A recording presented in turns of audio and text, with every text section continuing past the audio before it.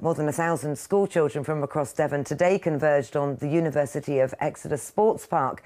It was the county's first school games of the year with the biggest participation to date. Spotlight's Dave Gibbons went along to see what it was all about. There was a musical start to the Devon school games. The opening ceremony certainly woke up the thousand or so schoolchildren at the University Sports Park in Exeter.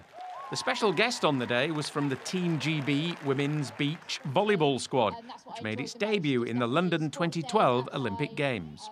Yeah, it's definitely good for volleyball. I think it's good for all sports. Um, not many kids get the chance to compete um, on you know a weekly basis or a monthly basis at many different sports. So this way, it gets them a chance to compete. It gets them a chance to kind of like get the juices going and just really enjoy sport and enjoy um, huge occasions like this. So it's great. The whole event is organised by Active Devon and there was a whole range of sports in which the children represented the different regions in the county. The um, facilities at the sports park here are fantastic. We've got brilliant indoor facilities, a real good range of outdoor facilities as well. And when you're running an event like this with um, 10 or 12 different sports involved all on the same day, um, to be able to have everything in one place really adds to the festival atmosphere.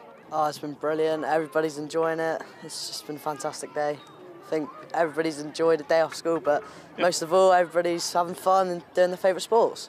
I think it's really good that they've managed to organise these sports and great that everybody's having fun doing them. Well, it's really nice seeing all the different schools playing all sports, and I'm just glad I'm a part of it. So. What's your favourite sport? Hockey, probably. Hockey. Well, there are five events in total throughout this year. The next two coming up are at the Plymouth Life Centre in June, and shortly after we'll be back here at the University Sports Park.